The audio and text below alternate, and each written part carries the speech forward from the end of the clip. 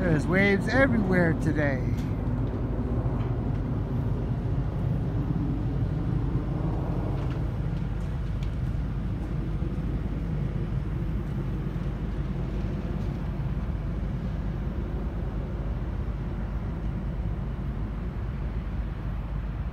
Giving you a 360 degree view